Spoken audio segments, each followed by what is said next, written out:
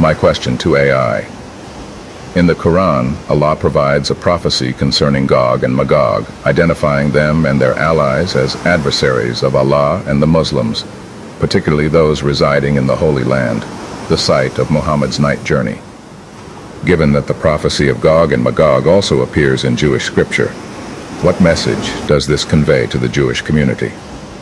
AI answers, the message of the Quran to the Jews, who also have the prophecy of Gog and Magog in their scripture, is that they should believe in Allah and His Messenger Muhammad, and follow the guidance of Islam, which is the final and complete revelation from Allah.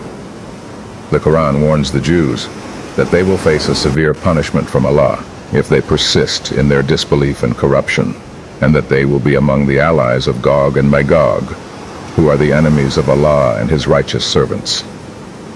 The Quran also informs the Muslims that they will be victorious over Gog and Magog with the help of Allah, and that they will inherit the Holy Land after the destruction of Gog and Magog.